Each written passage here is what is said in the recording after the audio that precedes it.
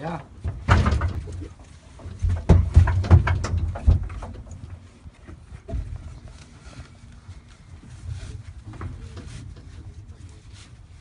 Dobrowy, jak to? Oda. Ale czaj.